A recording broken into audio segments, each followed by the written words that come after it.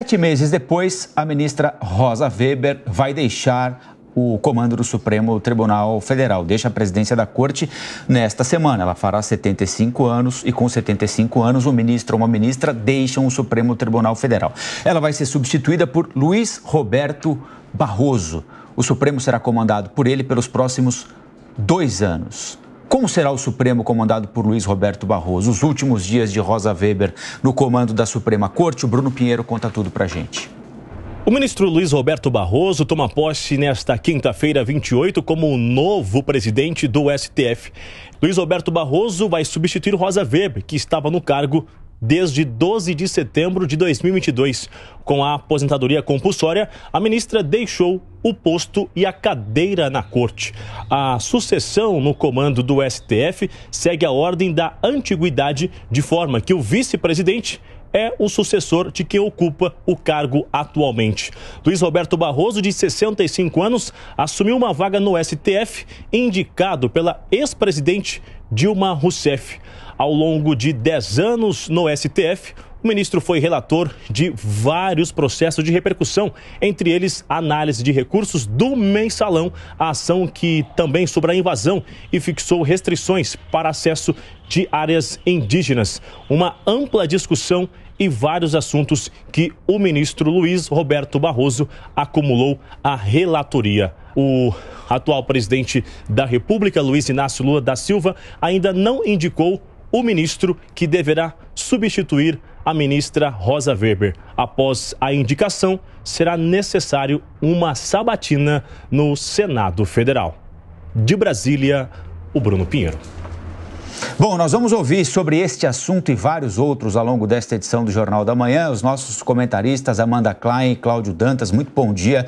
Prazer estar aqui com vocês. Queria começar com a Amanda. Amanda, tem sido um encerramento de mandato, um mandato menor, expresso da ministra Rosa Weber, por causa dos 75 anos agora, muito marcante, né? Ela tem pautado assuntos que estavam nas gavetas do Supremo Tribunal Federal há muito tempo, marco temporal, é, descriminalização do aborto, até o quarto mês de gestação, é, descriminalização do porte de drogas. Como é que você imagina que vai ser essa transição do fim do mandato da ministra Rosa Weber para o começo do mandato do ministro Barroso? Bom dia. Bom dia, Colombo. Um prazer falar com você. Seja bem-vinda, Jovem Pan, Vida Longa aqui conosco. Vai ser um prazer é, comentar com você todos os dias que eu estiver aqui. Dantas, bom dia também. Lívia, a nossa audiência é, da Jovem Pan. Colombo, eu imagino que seja uma transição de mandato mais ou menos fluida e tranquila, primeiro pela relação pessoal que Rosa Weber e Barroso cultivam. Eles são ministros próximos, mas com personalidades bastante diferentes. O ministro Barroso, por exemplo, costuma falar muito mais, dar mais entrevistas, ser uma pessoa atuante, mais atuante, até participando de fóruns, viagens, audiências. E a ministra Rosa Weber, todos nós sabemos, é uma pessoa muito mais contida, aquela juíza que fala, é a juíza por excelência, a juíza que fala nos autos. Talvez fosse o que temos, cultivamos no nosso imaginário como a juíza perfeita, a juíza que não extrapola os autos e, e não dá tantas entrevistas. Mas, como você mesmo disse, ela privilegiou pautas caras, pautas progressistas, como a descriminalização do aborto até as 12 semanas, mesmo que para isso ela soubesse, isso já estava negociado nos bastidores, que passaria para o plenário físico, né, para aquele plenário em que todos os ministros fazem suas sustentações orais e nós, cidadãos imprensa, conseguimos acompanhar. Mas ela queria deixar registrado o seu voto, que aliás foi um voto muito denso, a gente pode debater aqui mais tarde, e esse voto vai contar mesmo que ela tenha deixado o STF. A mesma coisa valeu pelo marco temporal. Quando pediram vistas, ela combinou com os ministros, falou com André Mendonça: olha, você está pedindo vistas aqui, mas por favor, eu faço questão de votar nesse tema. Esse tema de fato voltou à mesa e eles decidiram pelo não reconhecimento, pela inconstitucionalidade dessa tese do marco temporal que estabelece o limite ali da promulgação da Constituição de 88 para o reconhecimento de territórios de terras indígenas. Já Luiz Roberto Barroso é alguém é, que tem entrado em muitas divergências com os bolsonaristas nos últimos anos. Primeiro, porque ele foi presidente do Tribunal Superior Eleitoral, do TSE, na época da votação ali da PEC, do voto eletrônico. Ele foi uma pessoa muito atuante em defesa da justiça eleitoral e da validade, do rigor, da credibilidade das urnas eletrônicas. Ele proferiu algumas declarações até que foram vistas como bastante polêmicas e sensíveis. Por exemplo, há poucos meses ele disse: Nós vencemos o bolsonarismo. Da mesma forma, naquele evento em Nova York, um dos muitos em que ele falou, ele disse: Perdeu o mané quando foi hostilizado por um bolsonarista nas ruas. Vocês devem lembrar dessas cenas. Mas imagino, tenho para mim, que na presidência eh, de uma instituição, de um poder, melhor dizendo, Barroso uh, tente ser mais contido e certamente uh, construir pontes com o atual governo. Dantas, bem-vindo. Boa semana para nós, bom dia. A gente pode colocar nesse pacote aí de, de, pautas sociais que foram levantadas por Rosa Weber, como a Amanda destacou, como o próprio Colombo destacou, o engajamento que ela teve no Conselho Nacional de Justiça como presidente do órgão também, para que haja uma mudança na regra de alternância, que haja uma alternância entre homens e mulheres para promoção de magistrados para a segunda instância, o que hoje não acontece. O julgamento foi suspenso por causa de um pedido de vista, mas está 3 a 0 por enquanto para que haja implementação dessa nova regra. A sua avaliação a respeito dessa atenção que Rosa Weber deu para essas pautas sociais, eu queria saber qual é, porque a impressão que dá é que ela focou nessa área mais agora, no final do mandato dela. Que visão você tem sobre isso? Para deixar uma marca, talvez? É, muito provavelmente para deixar essa digital. Bom dia, Lívia. É, bom dia a todos. É, nós temos aí uma situação. É, eu vou discordar um pouquinho da Mano em relação a falar só dentro dos autos, né? É, nós temos uma, uma, uma, presidente que, ela, de fato, na maior parte do seu, é, da sua gestão, ela manteve um perfil bastante é, discreto, mas, é, na verdade, é um pouco, um pouco de, de falta mesmo de, de atuação, né? Uma atuação muito voltada para dentro, internamente, é, e, essa, e ela passou a, ter essa, é, passou a se sensibilizar mais, mais com, os, com, as pautas políticos sociais, realmente no fim é, da sua gestão. O que se pode esperar do Barroso assumindo aí, substituindo a Rosa Weber na presidência, é justamente uma elevação um pouquinho mais do debate público. Mas o Barroso ele não tem esse perfil de antecipar voto, né? Ele faz naturalmente é, ele, ele, tem aí as suas palestras, ele faz o debate público de uma maneira é, bastante elegante, bastante republicana, é, mas ele não costuma antecipar votos. Então é, é bom que se, se, faça essa diferença, porque isso faz. É, isso tende a, a, a dar uma, uma, marca na gestão do Barroso de tentar trazer o Supremo é, novamente para o seu escaninho ali. Né? O Supremo hoje está marcado um pouco pelo ativismo é, político e ele precisa, de fato, é, retornar algumas casas aí para ajudar no próprio processo democrático. É, o Barroso já contratou, já, já trouxe para dentro do gabinete alguns, é, alguns assessores e me parece que vai dar uma atenção especial também às pautas econômicas. Então, basicamente, é, nós temos aí é, pautas com alta sensibilidade, né, que nós temos a descriminalização da, da porte, da maconha, do porte da maconha, a questão do aborto que ficou também pendente.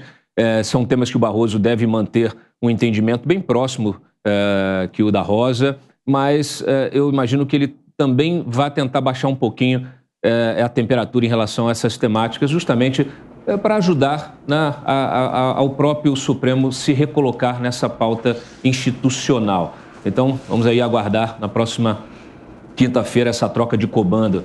É, bem-vindo, Colombo, aí, é, parabéns pela estreia.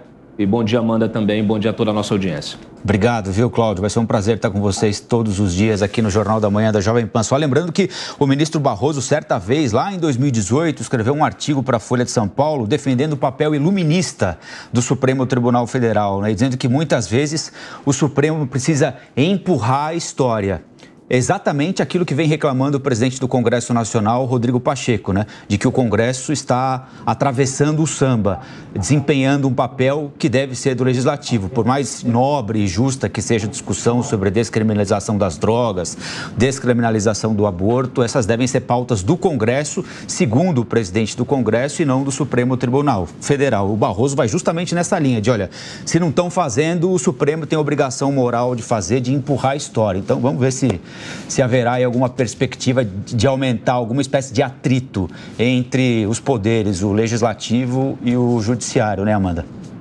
É, eu, eu acho, só para encerrar, eu estava pensando exatamente isso que você estava falando, e quando Dantas diz, falou sobre o ativismo político né, do, do Supremo Tribunal Federal, isso já vem acontecendo pelo menos, se a gente enfim, pensar no marco em 2012 com o julgamento do mensalão, mas mesmo antes disso, se a gente retroceder um pouquinho mais na história, de qualquer forma, o Luiz Roberto é, Barroso já feito aquela, aquele preceito do, do direito alemão de democracia militante e ele colocou isso na prática quando era presidente do Tribunal Superior Eleitoral, em todas essas, essas entrevistas que vem dando, nos artigos que vem escrevendo. Então, eu acho que ele é um ministro e, e é interessante porque o Supremo Tribunal Federal, nesse sentido, é diametralmente oposto à composição do Congresso Nacional, que tem uma composição mais conservadora e o Supremo Tribunal Federal muito mais progressista. E cada vez mais, principalmente em torno da democracia, esse tema fez com que o Supremo se unisse. Antes era muito comum, principalmente nos julgamentos da Lava Jato, você ver aquela cisão de 6 a 5, era sempre 6 a 5 para um lado, era um Supremo muito dividido. Aquilo era sintomático. E nas últimas votações, normalmente o que a gente vê é a, a separação de apenas dois ministros que foram os indicados por Bolsonaro, André Mendonça, Mendonça e Nunes Marques, o que fez com que o corpo do Supremo Pleno se unisse muito, principalmente em torno dessas pautas de defesa da democracia. Dantas?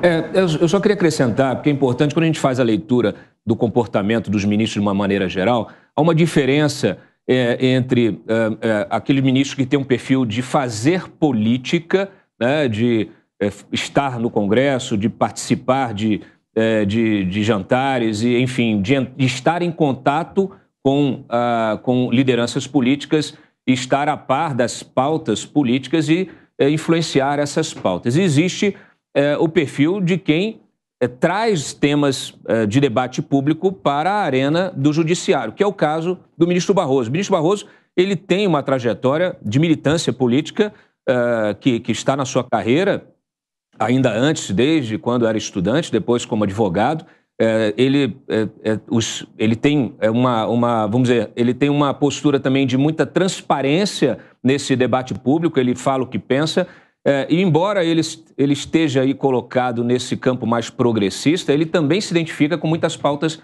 é, aí mais ao centro. Muitas vezes ele defende pautas que estão mais ao centro do debate público se afastando é, de, do radicalismo é, de esquerda. Ele, inclusive, também tem uma defesa enfática do combate à corrupção, da moralidade pública. É, então, eu acho que é, o Barroso, estando à frente do Supremo, ele, ele talvez consiga guiar o Supremo por um caminho que seja um caminho mais racional. Por enquanto, a gente tem visto o Supremo sendo arrastado pela política, tra sendo trazido, tragado pela política e fazendo é, e até gostando de estar, né, de alguma maneira, dentro do debate político. O que é muito ruim, muito ruim para o próprio Supremo, porque isso, o debate político, ele tem outro timing e ele, ele deixa marcas, né? Então, é, coisas que a gente sabe que precisam, a gente precisa preservar a instituição Supremo para que ela não, não esteja maculada de forma alguma, justamente para dar independência